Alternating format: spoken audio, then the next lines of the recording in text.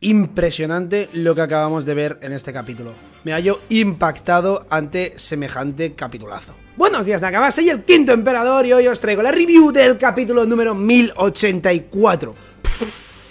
Perdonad Nakamas por esta impuntualidad a la hora de sacar este capítulo, espero que no hayáis sido muy impacientes con la espera de este. Pero como sabéis me ha sido imposible puesto que estaba en el resort en el que he creado la semana del anime y bueno, pues he estado fuera, ya visteis en, la reacción anterior que, que, la hice en colaboración a Radio Pirata en los dos canales, en la reacción sí que está subida aquí a YouTube, pero por la falta de tiempo fue incompatible, esa me la inventó esa palabra. De hecho, mira, si notáis tengo la voz en la mismísima mierda, parece el inframundo, aún así estoy seguro de que va a salir una review impresionante. Pregunta para los nakamas que no han leído el capítulo, ¿qué personaje aparecerá en este? Bueno, ahora ya fuera bromas nakamas, ya sabéis eso, que he estado fuera, entonces me ha sido imposible traer la review hasta ahora, pero hoy ya venimos con todas las ganas del mundo a grabarla, porque además muchos sois los que me habéis dicho que a pesar del bombardeo de información y de teorías y de todo que ha habido por ahí, que sois muchos los nakamas que estáis esperando la reacción del, o sea, la reacción, la review del Tito Quinto, con lo que aquí está.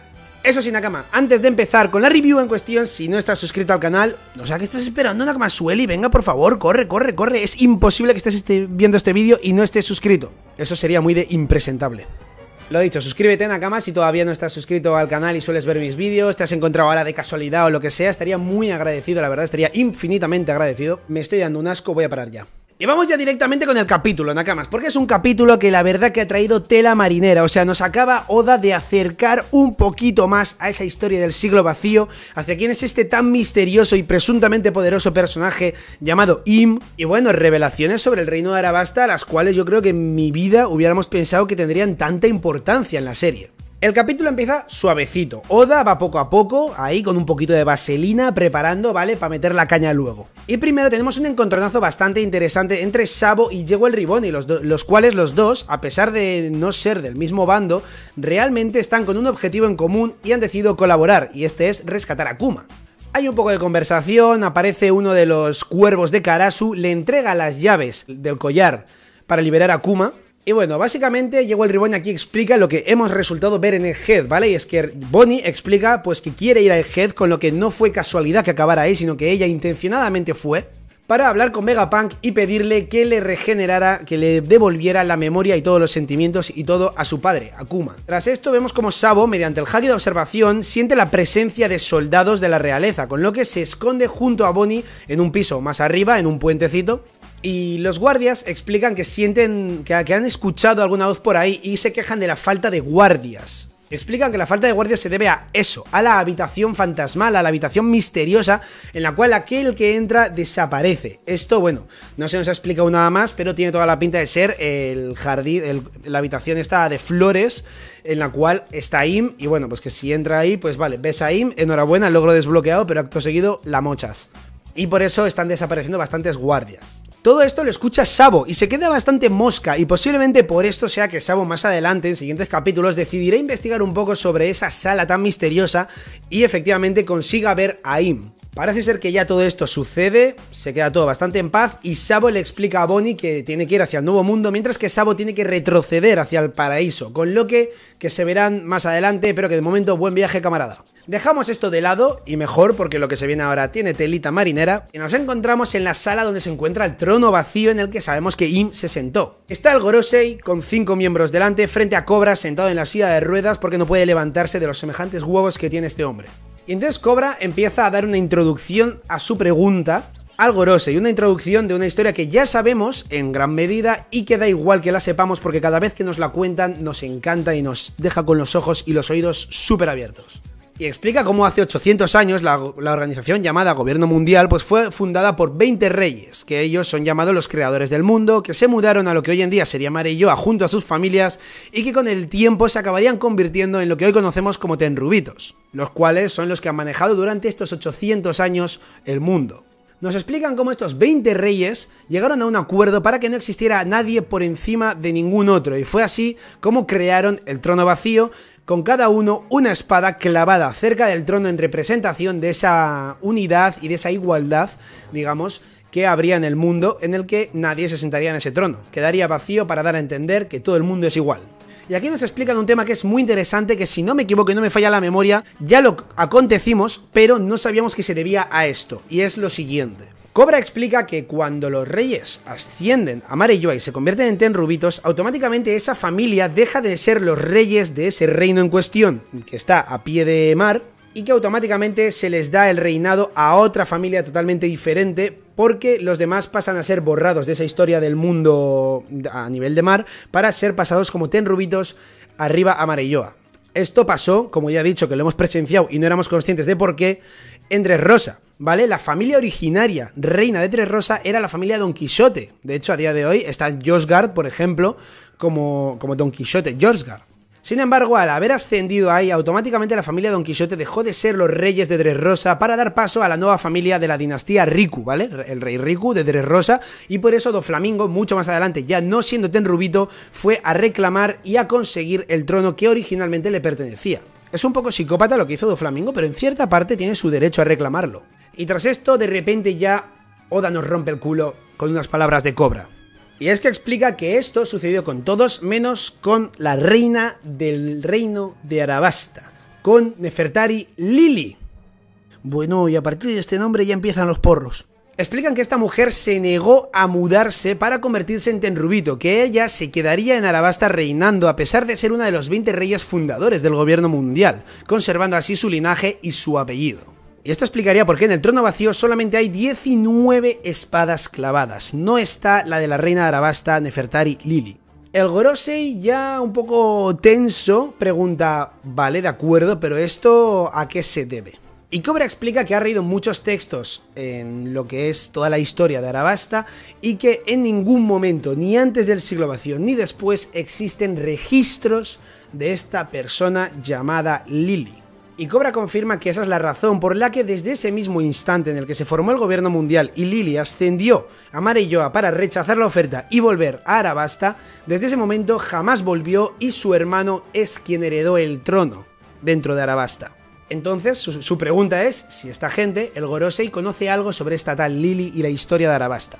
Y aquí ya de repente nos sorprende una cosa, ¿vale? Y es que vemos que toda esta conversación está siendo retransmitida y escuchada en el en, en, la habitación, perdón, de las flores, donde se encuentra Im, ¿vale? Que está escuchando todo mediante un den de musi, como vemos en la imagen de aquí, donde explica que es una pregunta sobre un pasado distante, de hace 800 años, y que es cierto que la única familia real que no mudó aquí fueron los Nefertari pero todos, incluso ellos, el propio Gorosei, creían que ella había vuelto a Arabasta. Es decir, según el Gorosei, no sabemos si está mintiendo o está diciendo la verdad, ellos jamás supieron que Lily no volvió a Arabasta, que pensaban que ella estaba ahí tan tranquilamente. Entonces Cobra se queda un poco mosca y dice, vale, entiendo. Voy a hacer una pregunta súper hilada y súper coherente después de esta conversación. ¿Qué significa la D? Sin Nakamas, así por la cara, como si fuera una conversación hilada y coherente, de repente de preguntar por Lily te mete la D por el culo. Y ahí ya, bueno, si el Gorosi ya estaba un poco tenso antes, imaginaos cómo está ahora cuando mencionan la letra prohibida. Entonces aquí el calvo del Gorosi le pregunta que por qué pregunta eso y que dónde ha escuchado sobre la D el pobre Cobra no sabe dónde se está metiendo. Y explican que existe una breve carta en Arabasta que se ha ido pasando de familia en familia. Esto de carta es que es una traducción muy ambigua, ¿no? Porque puede ser una carta, literalmente una carta en papel, como pueden ser, por ejemplo, los planos de Plutón, que eran papel y se han ido pasando de generación en generación, o puede ser que con carta se estén refiriendo al poneglyph que hay en Arabasta que cuenta la historia de Arabasta. Explican que eh, se conserva esa breve carta escrita por la reina hace 800 años y que ha pasado a través de la familia real de generación en generación. Mi apuesta es que es el Poneglyph y de repente nos cortan ahí, nos dejan esa situación con hype, pero por una vez Oda no nos corta y ya está, sino que más adelante volveremos a la situación. Ahora se da una cosa, bueno, muy épica, pero que la verdad que corta un poco el ritmo del capítulo tan tenso que estaba siendo. Y es que bueno, el tontopolla de San Charlos, ya sabéis, el tenrubito saco de hostias por excelencia, se ha ofuscado con que quiere a Shirahoshi. La quiere como esposa, quiere para casarse con ella, como esclava, la quiere para todo. De hecho es curioso porque nos enseñan el concepto de amor de un tenrubito, o por lo menos el del tontopolla de San Charlos. Y es que explica que quiere casarse con ella para que le pase. O sea, en plan, para que, como estaba Kuma con el Tenrubito, que estaba ya cuatro patas andando ahí pa, paseando y siendo esclavizadísimo, pues la quiere para eso. En gran resumen, Kuma, obviamente, pues totalmente ido, empieza a, a arrestar, por decirlo de alguna forma, a Shirahoshi y vemos como el hermano de Shirahoshi dice que eso no va a ser así y está dispuesto a ir a atacar al Tenrubito, algo que puede traer grandes problemas y más aún a la isla Yojin, la cual está bastante sobre un hilo y bastante que hayan conseguido traerla al Reverie, entonces imaginaos que la lían de esta manera. Entonces San Charlos ordena a Kuma que se cargue a estos Yojins, lanza un disparo que los Yojins consiguen esquivar y siguen dispuestos a ir a asesinarle. Y cuando el hermano de Shirahoshi está a punto de clavarle el tridente, aparece Josgard, el único tenrubito decente sobre la faz de la Tierra. Y le dice que se detengan, que si ellos, que están representando a una nación, hacen esto, pueden tener grandísimos problemas. Y es que la isla de Ojin ya definitivamente eh, sería destruidísima, esclavizada o lo que fuera. Y Josgard, muy inteligente aquí, tanto por esa frenada y cortada de rollo que acaba de pegarle al hermano de Shirahoshi, como a los que sí que permite que vayan a atacar, es magistral. Y es que aparece Sai junto a Leo diciendo, entonces podemos golpearle. Entonces Josgar dice que sí, que él se atendrá a las consecuencias. Claro, es un tenrubito, tiene carta blanca para hacer lo que sea, incluso ante otro tenrubito. Esto es un poco vacío legal. Y Josgar dice al hermano de Shirehoshi que se relaje porque ellos no representan a ninguna nación, ellos son piratas y pueden hacer lo que quieran. Qué bonito sentimiento de libertad. Y meten los dos un ostión a San Charlos, o sea, un, ostión que se pone la cara. Es, la cara de San Charlos, cómo se le queda la cara, es espectacular. O sea, creo que no he visto una cara en One Piece que me haga tanta gracia en mi vida. Pero la epicidad de que sean dos de la flota de Luffy los que han hecho esto es muy interesante porque es públicamente conocido que estos dos son de la flota de Luffy.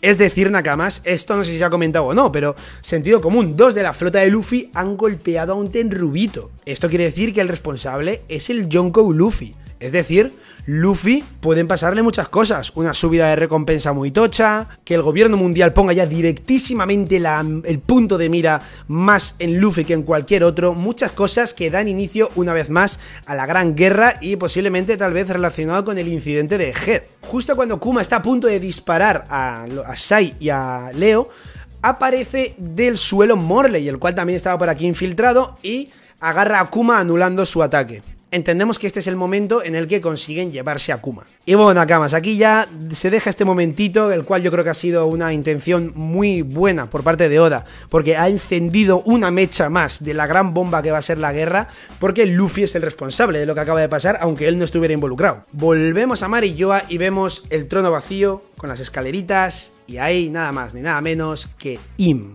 Y vemos a Cobra, claro, con una cara impactada de quién es esta persona que va todo de negro, con un velo gigantesco, un traje enorme negro donde solo se le ven los ojos, subiendo y sentándose en el intocable trono vacío.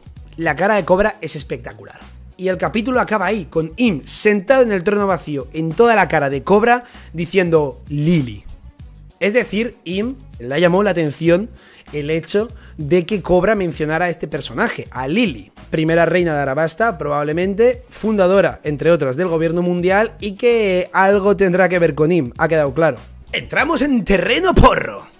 Hay varias posibilidades, está claro que Im tiene mucha relación con Lily, esto ha quedado clarísimo. Ahora, ¿cuáles son las opciones? La primera opción de todas es que se ha comentado es que Im sea Lily, ¿no? Que se quede impresionado o impresionada en este caso al escuchar su propio nombre que llevaría 800 años sin conocer, porque desde que dejó Arabasta hasta que subió a Marilloa, automáticamente ahí su nombre y su todo fue borrado, ni el Gorosei ni nadie conoce el nombre original de Im, que sería Lily en este caso, y entonces se quedaría impactada al escuchar a su tatara tatara tatara mega super ultra hiper nieto Cobra mencionar su nombre. Esa es una de las teorías. La otra teoría es una historia un poco más tirando a historia de amor o algo del estilo, en la cual Im sea un hombre el, el cual pues se enamoró hace muchísimos años de Lily.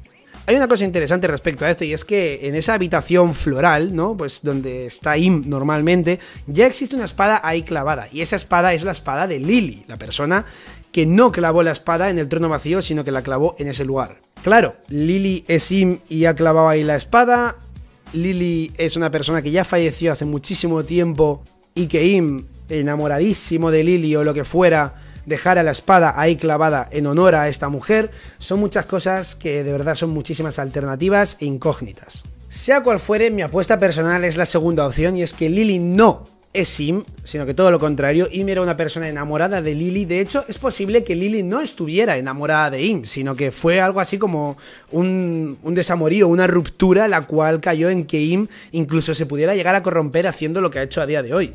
A mí, sinceramente, lo que más me gustaría es que Lily, la cual sabemos que abandonó Joa pero no llegó a Arabasta, fundara su nuevo reino, su nueva isla, en un lugar escondido en el mundo, en un lugar que sería totalmente alejado de los peligros de la marina, del gobierno y de absolutamente todo, y este reino sería Amazon Lily. Obviamente es un lugar accesible para todo el mundo y ni mucho menos es un laugh de la vida. Sin embargo, curiosa y casualmente tiene ciertos puntos que pueden ayudar a fortalecer esta teoría. Por un lado sabemos que en Amazon Lily las amazonas en su vida han visto a un hombre, a no ser que sea para salir de la isla, reproducirse y volver, que es literalmente lo que explican en One Piece. De hecho, existe como una cierta tendencia de odio hacia la figura del hombre. Esto, para empezar, puede ser que fuera inculcado por la propia Lily, puesto que tuvo un desamorío muy heavy con Im, Im tuvo una grandísima obsesión hacia este personaje equivalente a la que tenía Van der Decken con Shirahoshi, que podría ser un primer ejemplo, y a raíz de eso despertar ese rechazo, ese odio y que, los, y que utilizaban a los hombres única y exclusivamente para un fin biológico que es seguir existiendo como especie.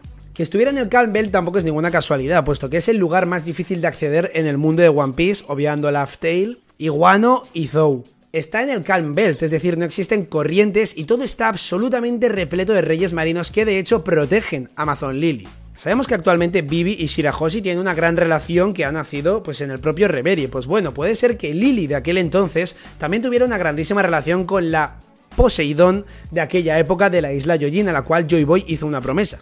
Si la Poseidón de aquella época diera una orden eterna de que los reyes marinos protegieran a Amazon Lily para proteger a su amiga Lily, es decir, creo que esta historia no consiste y no tiene que girar únicamente en torno a que Im sea Lily, Im estaba enamorado de Lily, fueron best friends, hubo una ruptura amorosa, no solamente eso, sino que hay que expandirlo más, intentar salpicar un poco toda la historia completa de One Piece. Que Amazon Lily tenga ese apellido como isla no debe ser casualidad. Que solamente haya mujeres en esa isla con cierto rechazo a los hombres, que esté protegida por los reyes marinos, la cual es Poseidón de aquella época podía manejarlos con una orden eterna. Es decir, son muchas cosas que hay que pararse a pensar y empezar a analizar porque encajan de puta madre. A todo esto, Lily no creo que tenga que ver con Lilith, que es el demonio, como se ha explicado alguna vez, y que Lilith, demonio, enemigo natural de los dioses, no sé qué. Puede ser que tire por ahí, puede ser que Lily fuera una D o algo del estilo, yo en lo personal no lo creo. Pero desde luego, eh, cómo ha reestructurado y encajado todas las cosas Oda en solo un capítulo me parece increíble. Y por cierto, he de decir antes de acabar la review que el anterior capítulo ahora sí me ha gustado. Porque recordáis que en la review anterior dije, es un capítulo el cual no voy a valorar. Si en el siguiente capítulo seguimos con el Reverie, me habrá gustado. Si lo corta de lleno, se habrá quedado a medias y habrá sido puro enganche por enganchar, vacío y con humo. Y como ha seguido con el Reverie, ahora puedo decir que el capítulo anterior me gustó mucho y que posiblemente en Nakamas el siguiente capítulo nos guste aún más. Espero que hayáis disfrutado de la review, Nakamas Sualis de mi vida y de mi corazón suscribíos, Nakamas, antes de iros, antes de iros, suscribíos si os ha gustado el vídeo, la review, el capítulo, el Tito Quinto, lo que sea. Pero de verdad que me gustaría mucho que os suscribierais para ayudarme a seguir creciendo. Me encantaría que comentarais vuestra teoría ahí debajo, si os ha gustado mi teoría o inicio de teoría, puesto que al final es una review y no una teoría y no puedo pararme ahí a desarrollarlo todo, pero entre todos podríamos formar una teoría y una historia muy interesante si participáis en los comentarios. Así que nada más, Nakamas, hasta aquí llegaría esta review del capítulo número 1084. Espero que os haya gustado, regálenme un likecito, suscríbanse si todavía no lo están, un saludo, Nakamas, y hasta mi próximo vídeo.